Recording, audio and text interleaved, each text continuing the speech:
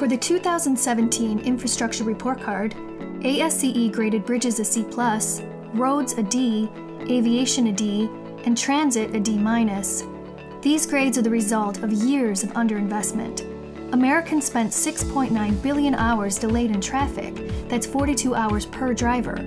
Over 9% of the nation's bridges are structurally deficient, meaning they require repair and more frequent inspection. With congestion at airports growing, by 2020, four out of five major airports will experience Thanksgiving traffic at least once a week. Transit ridership is at its highest level in four decades, but transit systems across the country also have billions of dollars in backlog needs, resulting in the report card's lowest grade.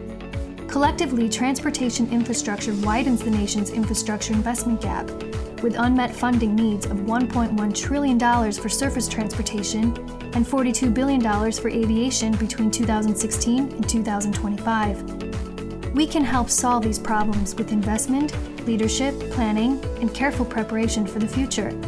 Be part of the solution. Call your elected officials, share the infrastructure report on social media. With action, we can improve America's infrastructure.